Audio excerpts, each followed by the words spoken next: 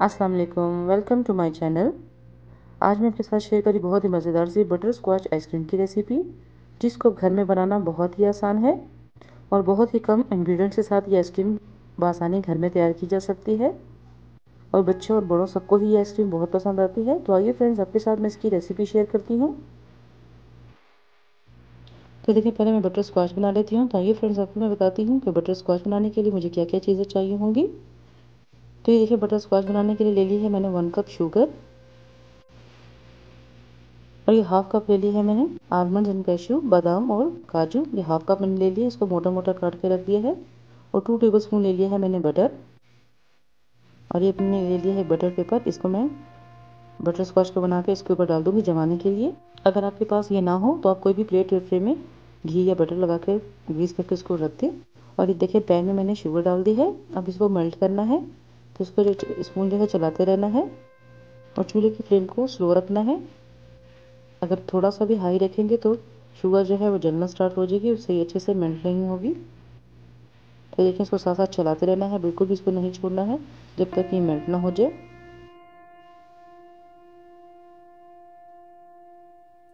तो देखें शुगर का कलर जो है चेंज होना स्टार्ट हो गया है, और थोड़ी थोड़ी सी मेल्ट भी हो रही है। अब इसको और भी थोड़ा मेल्ट करना है, जब तक इसका ब्राउन कलर ना आ जाए। और ये अच्छे से मेल्ट हो जाए।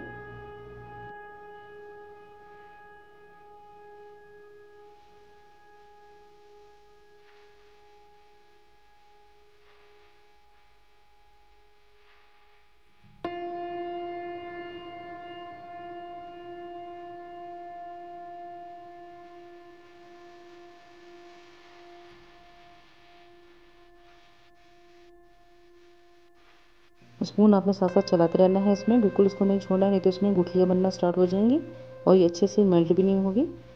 तो ये देखिए, बहुत अच्छे से अब ये मेल्ट हो चुकी है। इसको बस चार से पाँच मिनट और पका लूँगी मैं।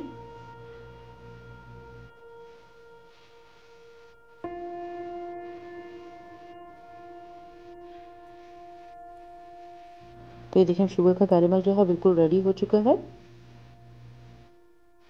अब इसमें ऐड कर दूँगी नट्स जो मैंने काट के रखे हुए और साथ ही इसमें मैं बटर भी शामिल कर दूँगी। और बस इसको चार से पाँच मिनट तक के लिए इसको फिर ऐसे पका लेना है।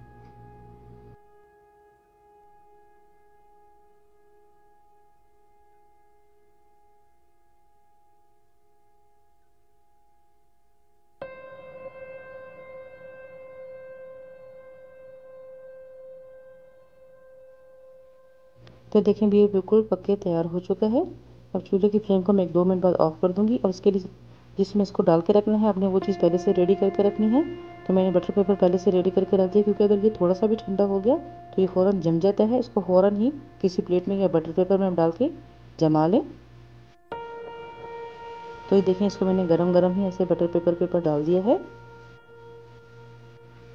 उसको ऐसे साथ स्पून से ऊपर से प्रेस कर देना है, ताकि इसकी लेयर जो है ज़्यादा मोटी ना हो। तो देखिए सब तरफ़ से इसको इक्वल कर दिया है मैंने, और अब इसको मैं जमने के लिए रख देती हूँ। तो ये देखें इसको आधा घंटा हो चुका है, ये अच्छे से ठंडा हो गया है। अब ये देखें बटर पेपर जो है, कितना आसानी से हट गया इस पेपर से। ये ज़्यादा हार्ड भी नहीं होता, बहुत इजीली ये टूट जाता है। आप बटर स्कॉच को बना के रख लें। बहुत सी चीज़ों में इसका इस्तेमाल किया जाता है। आइसक्रीम में केक में, किसी भी मीठे में आप शामिल करें, इसका टेस्ट जो है बहुत ही अच्छा आता है। तो ये देखिए फ्रेंड बटर स्कॉच जो है, बिल्कुल रेडी हो चुका है। अब इसको मैं थोड़ा बारीक पीस लेती हूँ। तो देखें, इसके लिए मैंने कोई भी प्लास्टिक बैग आप ले लें तो ये देखें, ये मैंने प्लास्टिक बैग ले लिया है। इसमें सारा ये जो है बड़े बड़े इसके पीस, इसको मैं इसमें डाल देती हूँ।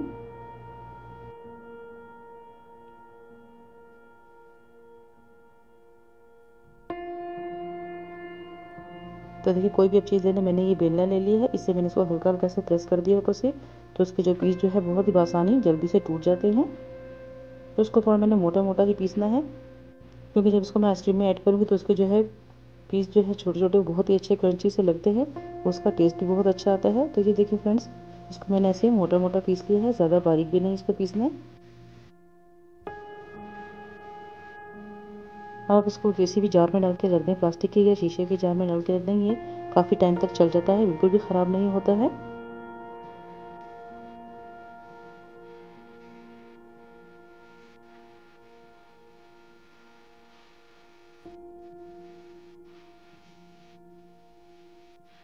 बटर स्क्वाश को अपने जिस जार में डालना है, ख्याल रहे कि इसमें बिल्कुल पानी वगैरह बिल्कुल भी ना हो।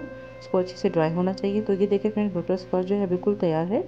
अब मैं इसके लिए आइसक्रीम बना लेती हूँ। ये देखिए मैंने बाउल ले लिया था, उसको मैंने थोड़ी देर पहले फ्रीज़र में रख दिया था, ताकि अच्छा से बाउल जो है ठंडा हो जाए। तो अब ये 500 ग्राम मैंने ले ली है विपिंग क्रीम तो इसको मैं अच्छे से विप कर लूँगी।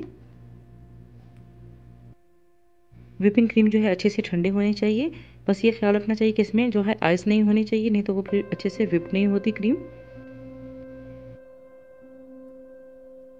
तो ये देखिए, पाँच मिनट हो गए हैं मुझे क्रीम को विप करते हुए। अब इसमें मैं शामिल कर दूँगी कंडेंस मिल्क कंडेंस मिल्क मैंने लिया है हंड्रेड एम कंडेंस मिल्क शामिल करने से आइसक्रीम का टेस्ट जो है बहुत ही अच्छा आता है। तो ये देखिए, अब इसमें ये डाल के तो उसको मैं दोबारा से इसको विप कर लूँगी, ताकि अच्छे से कंडेंस मिल्क जो है इसमें अच्छे से मिक्स हो जाए।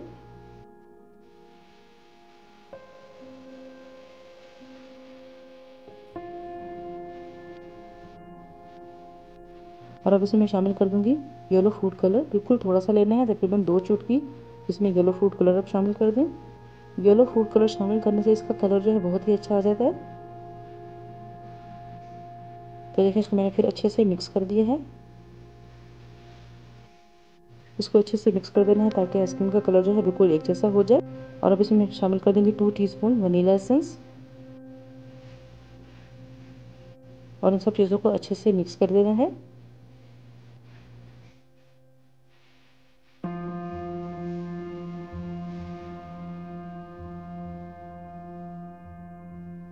तो देखिए क्रीम अच्छे से विप्ड हो चुकी है, सब चीज़ें भी इसमें बहुत अच्छे से मिक्स हो चुकी हैं और स्किन का कलर भी देखिए बहुत ही अच्छा लग रहा है, बिल्कुल लाइट से इसको मैंने कलर दिया है। तो अब इसको मैं प्लास्टिक फॉल से अच्छे से पैक करके फ्रीज़र में रख दूँगी तकरीबन तीन से चार घंटे के लिए और फिर इसको दोबारा से मैंने विप करना होगा।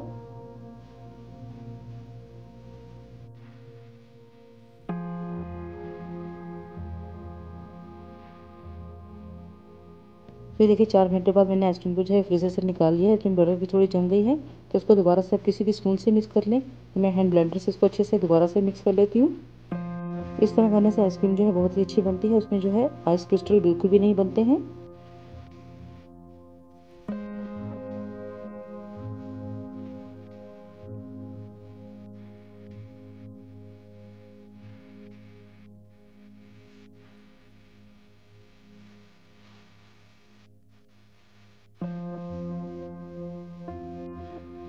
तो देखें आइसक्रीम को मैंने बहुत अच्छे से मिक्स कर दिया है बहुत अच्छे से ये सॉफ्ट हो गई है।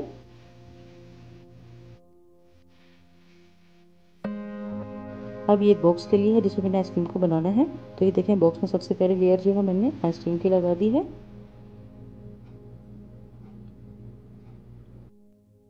और ये देखें, जो मैंने बटर स्कॉच बना के रखा था, वो भी आइसक्रीम के ऊपर मैं ऐसे सारा डाल दूँगी। और फिर दोबारा से इसके ऊपर मैं आइसक्रीम लगा दूँगी। इसी तरीके से तीन चार लेयर जो है आइसक्रीम की अपने ऐसे ही लगा लेनी है।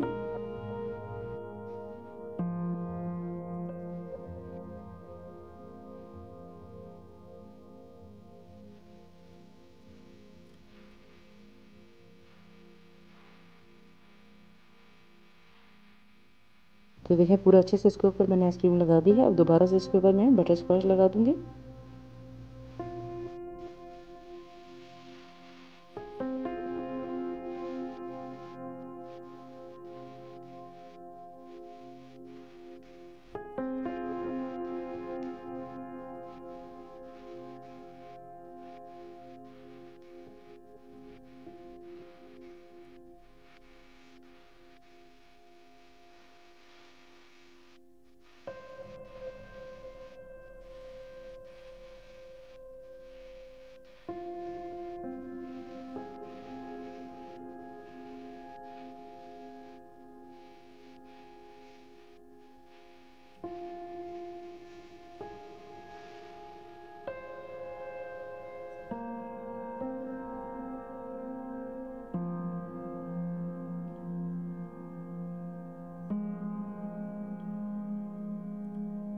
तो देखिए तीन चार लेयर जो है, मैंने ऐसे ही आइसक्रीम के लगा दी है। अब लास्ट में जो है बटर स्कॉच में सारा इसके ऊपर लगा दूँगी अच्छे से।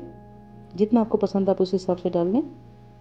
तो ये देखिए अभी बिल्कुल रेडी हो चुकी है। इसको मैं अच्छे से इसके ऊपर कवर करके इसको फ्रीज़र में रखना है, तकरीबन सात से आठ घंटे के लिए। तो ये देखिए मेरे पास एलमिनियम फ़ाइल है। मैंने इसको उसके ऊपर लगा दिया है। उसको अच्छे से कवर करके अब मैं इसको सात से आठ घंटे के लिए फ्रीज़र में रख देती हूँ, ताकि अच्छे से आइसक्रीम जो है जम जाए। तो ये देखें, सात से आठ घंटे हो चुके हैं। आइसक्रीम को फ्रीज़र में रखे हुए और ये बहुत अच्छे से जम चुकी है। तो देखिए स्कूप से मैं इसको निकाल लेती हूँ। बहुत अच्छी से आइसक्रीम जो है, सॉफ्ट बनी है। ये नहीं कि इसको निकालना ही बहुत मुश्किल हो जाए। बहुत ईजिली ये स्कूप से निकल आती है। तो ये देखिए, इसको मैं आपको प्लेट में डाल के दिखाती हूँ। बिल्कुल देखिए इसमें आइस क्रिस्टल बिल्कुल भी नहीं बने हैं। बिल्कुल बाज़ार जैसी आइसक्रीम तैयार हुई है। तो फ्रेंड्स आपने ये रेसिपी ज़रूर ट्राई करनी है। ये देखिए आपको मैं बिल्कुल करीब से भी करके दिखाती हूँ आइसक्रीम तो देखिए कितनी अच्छी आइसक्रीम लग रही है ये।